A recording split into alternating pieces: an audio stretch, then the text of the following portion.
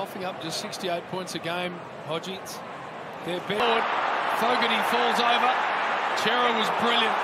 The Collingwood, great low-level shot there, showing the crowd. And we go out of the middle. Little one from Cunningham now. Cripps getting heavily involved. Cerra, neat ball to Curnow to go the other way. Cerra. Big jump from Cameron. Adams with the one arm held, couldn't get boot to ball. Back in after it, Adams, but it's Cerra who rips it away. Here, Carlton. Now Cerra. Deep ball, look at this. Oh, he's got out the back. Got a memory that will remind him of the last home and away game last year. Fogarty taking the ground.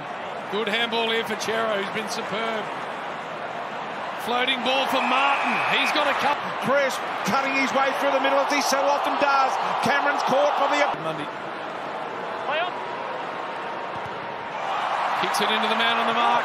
I reckon if you get a look at behind the goals here, Quaynor